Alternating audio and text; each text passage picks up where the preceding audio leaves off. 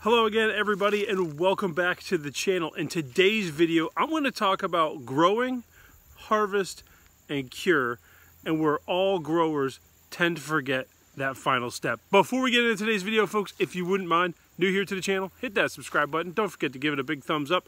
And if you guys are looking to support our farm or any of our sponsors and partners, check out all the website links in the description of this video. Okay folks, so on this channel we cover a lot and I mean a lot, of growing, growing techniques, nutrients, NPK values, all that good stuff. And although that is fantastic to talk about, there's a lot of things that I personally have skipped on this channel, but are very important. And every year, this time of year, I get email bombarded by folks that are having trouble with harvest. I also started getting a lot of questions probably around the end of October, early November about the cure, finding mold, all these other things. And so I'm here today to tell you that growing is probably the easiest part of it all. It can all go down the tubes with a harvest. It can all go right down the drain with a cure. And I'm here to tell you guys some tricks of the trade to make sure that you have a great harvest and you have a good cure.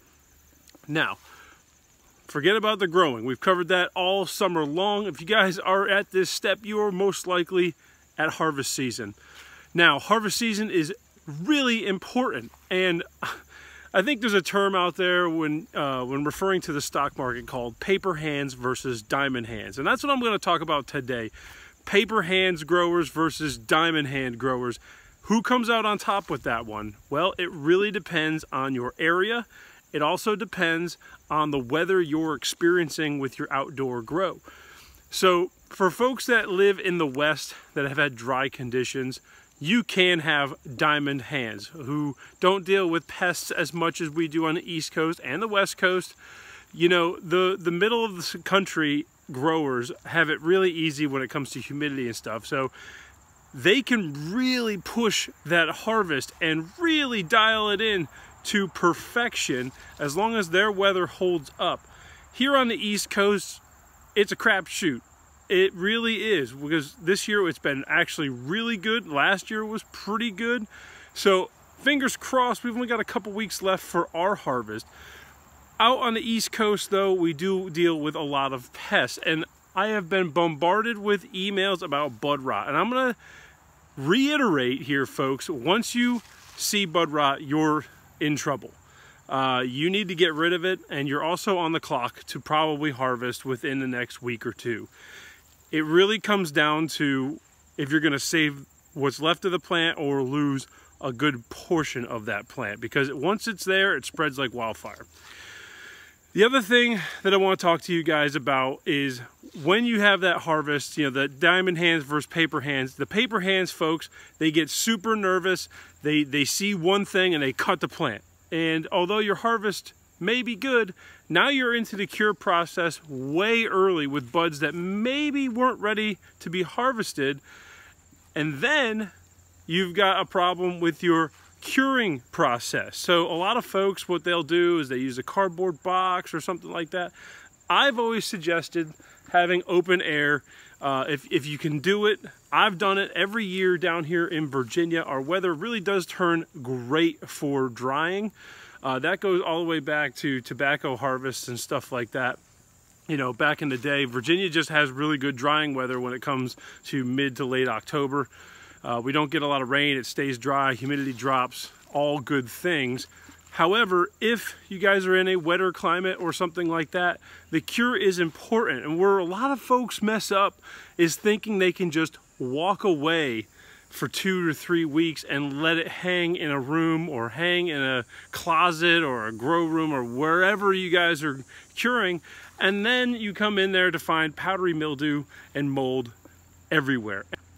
I get a bunch of emails asking me, how do I save it? How do I save it? There is no saving it.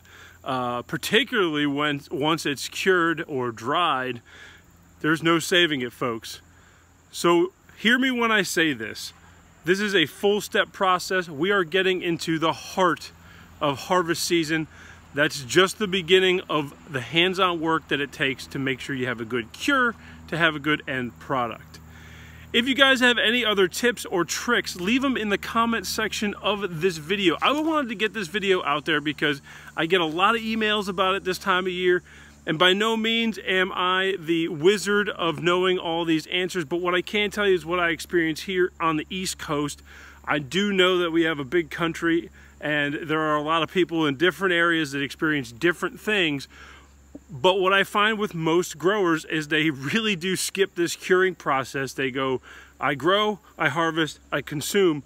Not the case, guys. Curing process coming up here soon. You really want to be on top of your game. Have a section, something set up, ready to go. Fans, dark, cool.